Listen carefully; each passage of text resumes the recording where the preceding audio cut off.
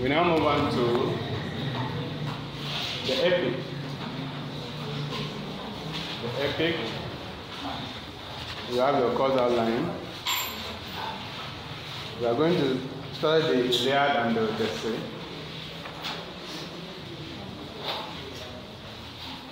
We're going to study the Iliad and the Odyssey.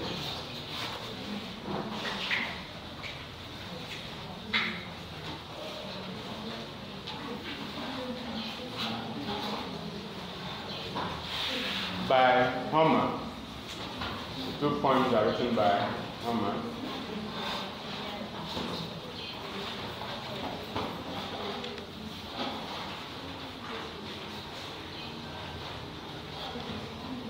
But first, let us attempt a definition of the epic. Let us attempt a definition of the epic. The epic can be defined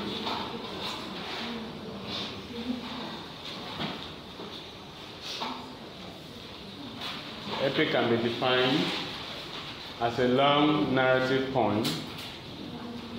Epic can be defined as a long narrative poem.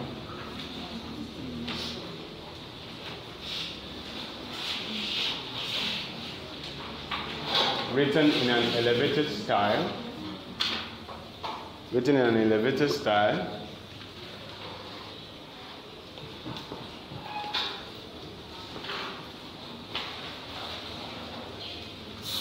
Making use of flowery language, flowery language, making use of flowery language,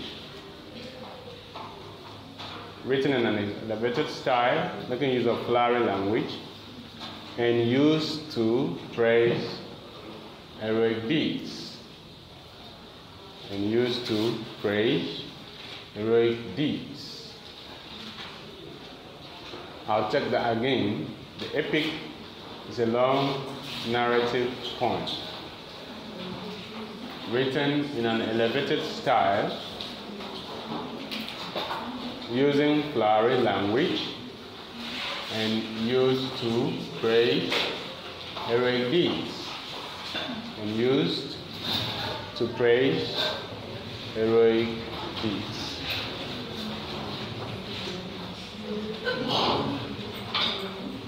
First, the definition emphasizes the length of the epic in the word long. First, the definition emphasizes the length of the epic in the word long. long. This means that this means that the epic is the longest type of poetry.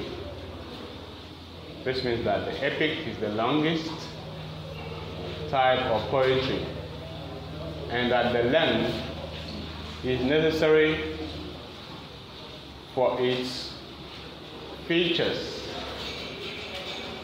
for its identity, for its understanding. The length is necessary for its feature and for its identity.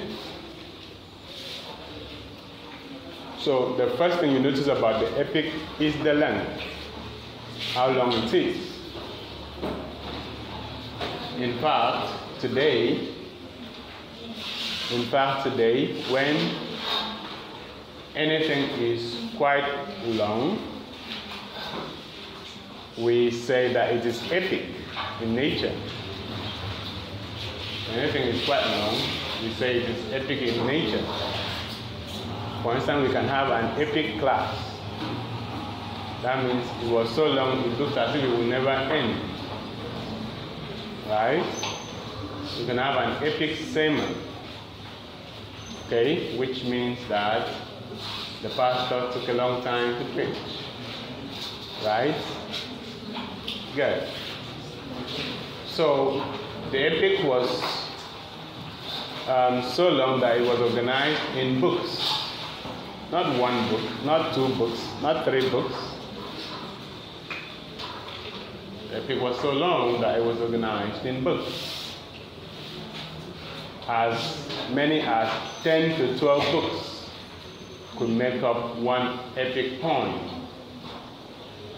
As many as 12 books could make up one epic poem.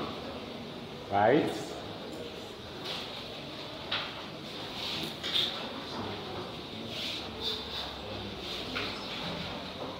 and it could not be read in one day. Could not possibly be read in one one day because it was that lengthy.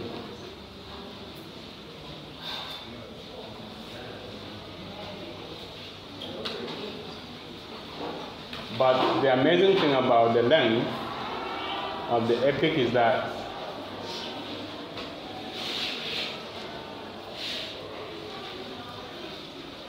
despite how lengthy it was, the amazing thing about the epic is that despite how lengthy it is or it was, people were able to people were able to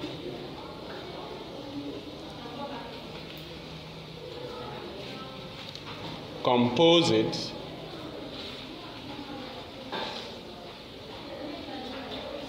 memorized it. Who were able to compose it, memorize it, and then recite it. Recite it through memory. Recite it through memory. Whenever the occasion called for it. Whenever the occasion called for it. So we never underestimate the power of the human mind or the power of the human memory.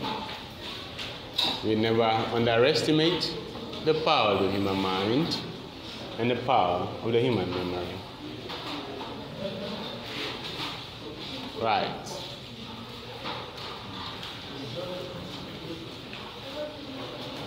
So another another term in the definition of the epic that we should elucidate on is narrative. Narrative. Narrative. If you get to the definition, if you go back to the definition of the epic, you see the word narrative. This means that this means that the epic tells a story. The epic is a narrative poem because it tells a story. Epic is a narrative poem because it tells a story.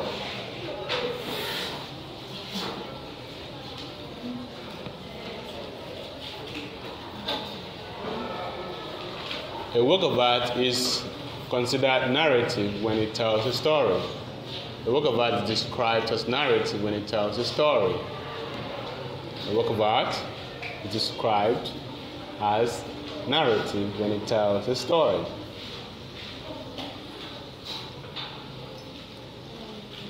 So a narrative poem tells a story.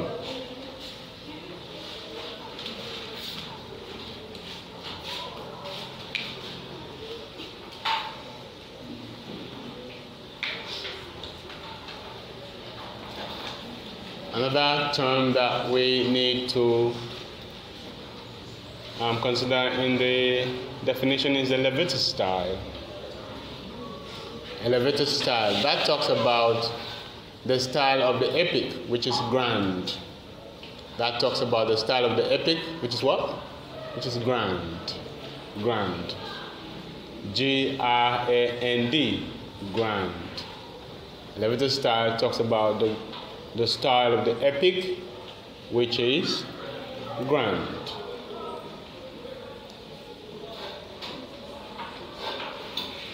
So the epic makes use of grand style. The epic makes use of grand style.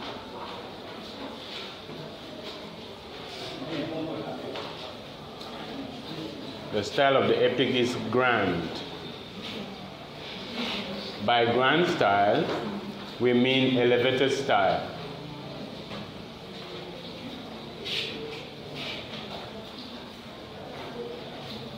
In an elevated style, the language is dignified and refined. In an elevated style, the language is dignified and refined. In an elevated style, the language is dignified and refined.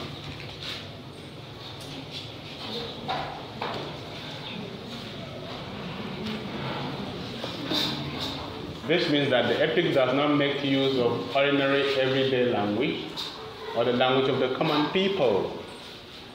This means that the epic does not make use of ordinary everyday language or the language of the common people. This means that an epic does not make use of ordinary everyday language or the language of the common people. Rather, the epic makes use of the language of the upper class members of society. The epic makes use of uh, the language of the upper class members of society, refined language, refined language, language that is defined through high level education, high educational attainment, the language that only the elite can speak and understand.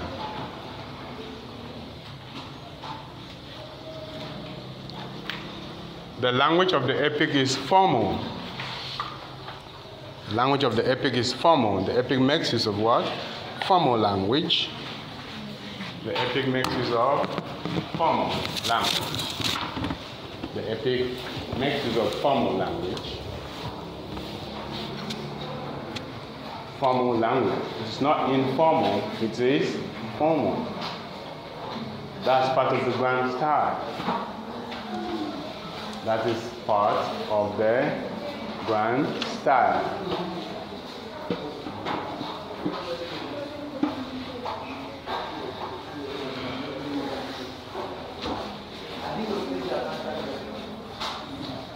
This language has dignity, it has decorum,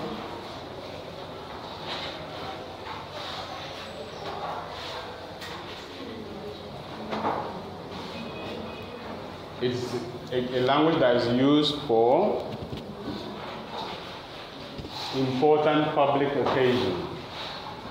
Language suitable for important public occasion. Language suitable for important public occasions.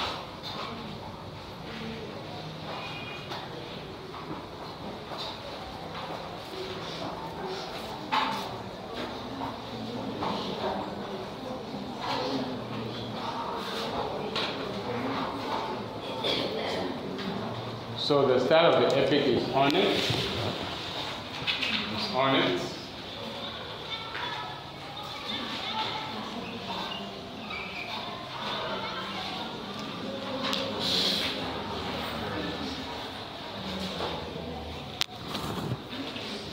It's flowery because it is beautiful. It's flowery because it is beautiful. It is decorative. It's honest, it is decorative, it beautifies, it is, it's full of aesthetics. It's decorative, it is beautiful, it's full of aesthetics.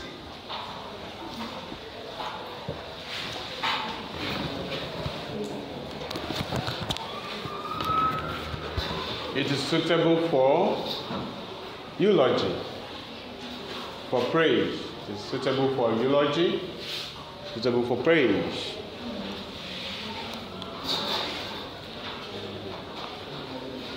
It is suitable for eulogy or for praise.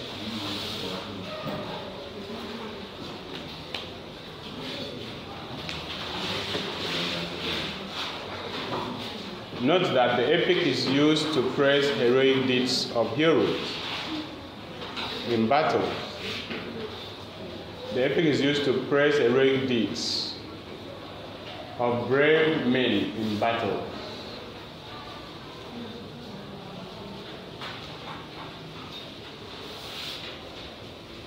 This means that the epic does not describe the life of common people. The epic is used to discuss the life of highly placed members of society. The epic is not used to discuss the lives of common people.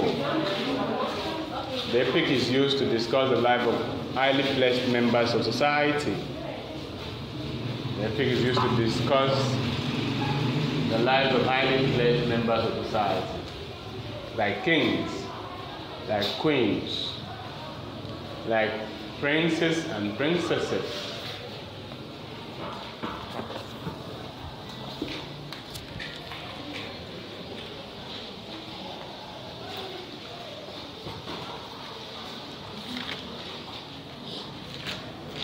The epic is usually written by bards.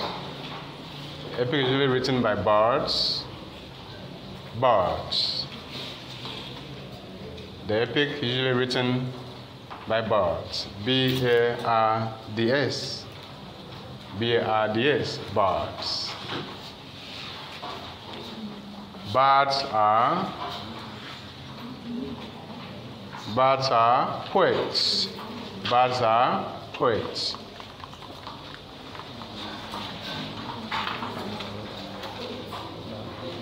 It's another name for a poet. A bard is a poet. These bards usually accompanied the king to the battlefield. These bards usually accompany the king to the battlefield. Or the king, conscious of their immortality, warriors, knights, conscious of their immortality, usually took the bard to the battlefield. Usually took the bard to the battlefield. The reason is that they want these bards to observe firsthand the bravery, the spectacular bravery of these warriors, these kings, these knights. And the reason is that they will be able to put this act of bravery into what? Poetry.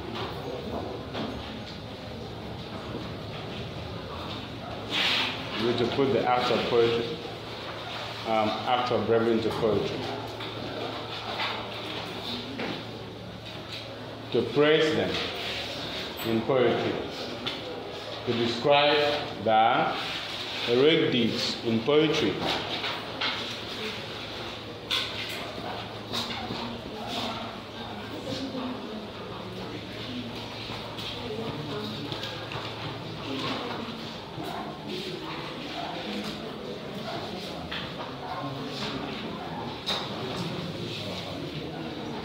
The epic usually begins with an invocation of the muse.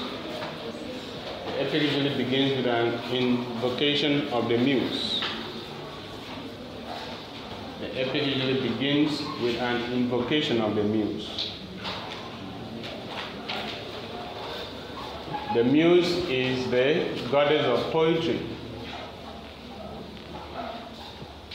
a supernatural source of inspiration for poets supernatural source of inspiration for poets. A supernatural source of inspiration for poets. The muse, the goddess of poetry, was a supernatural source of inspiration for poets. It was believed that poetry was an inspired art. It was believed that poetry was an inspired art. It was believed that poetry was an inspired art. This means that the poet could not write without inspiration from a supernatural force, which was the muse. This means that the poet could not write without an inspiration from a supernatural force, in this case, the muse.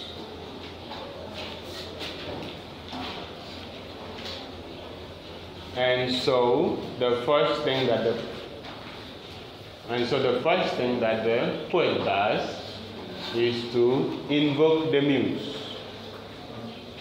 Is to invoke the muse. It's the opening part of the poem. The invocation of the muse is the opening part of the poem. In this invocation, in this invocation, the poet calls on the muse to take over the writing process.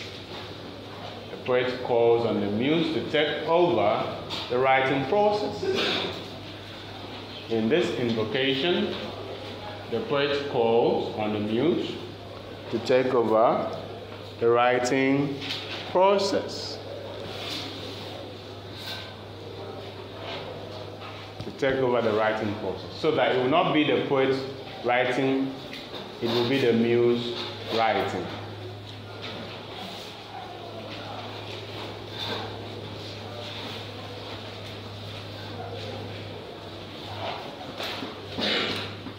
After that, after that, the epic poetry begins in medias res.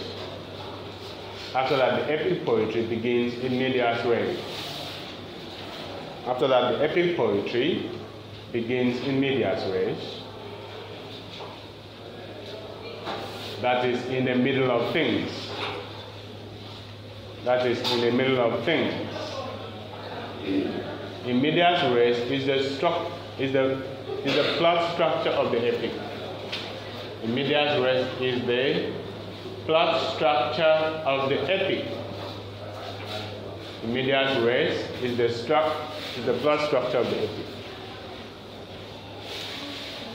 The epic usually begins in the middle of things, in the middle of the events.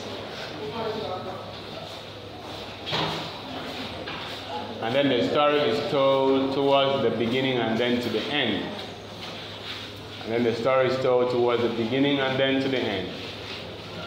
So if you're asked of what type of plot we usually have in the epic say it is in the middle of things in medias res.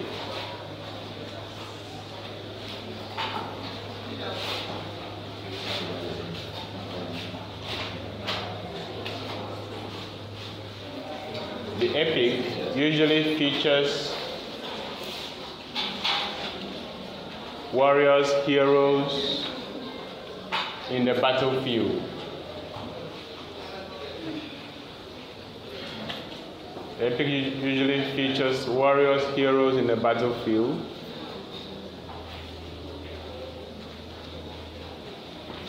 In the first place, the epic is organized in books and cantos. In the first place, the epic is organized in books and cantos. In the first place, the epic is organized in books and cantos.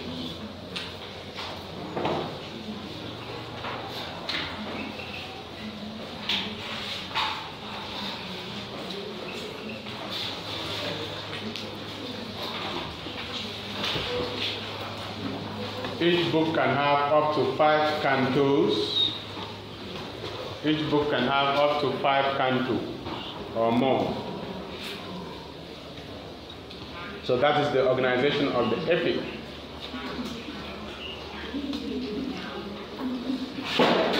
So that is the organization of the epic.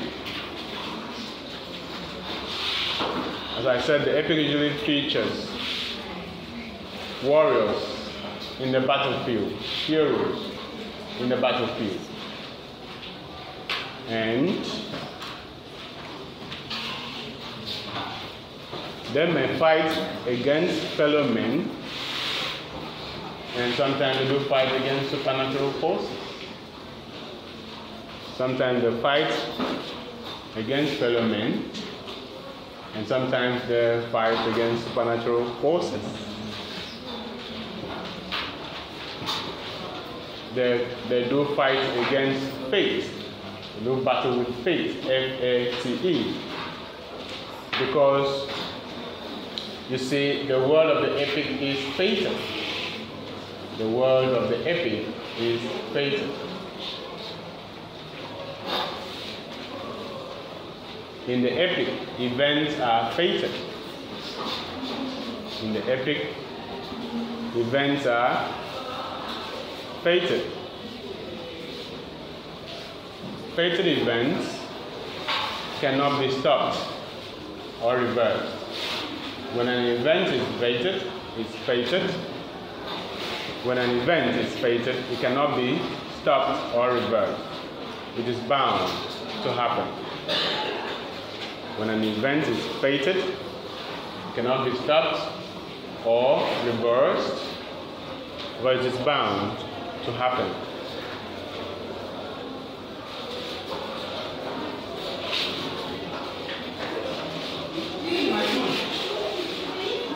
In the epic, we usually have the intervention of the supernatural.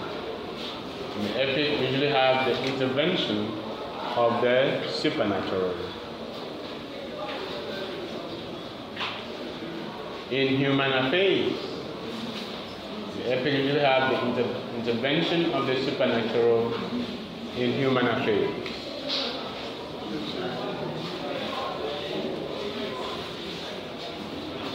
That means that the gods do intervene in man's affairs. The gods do intervene in man's affairs.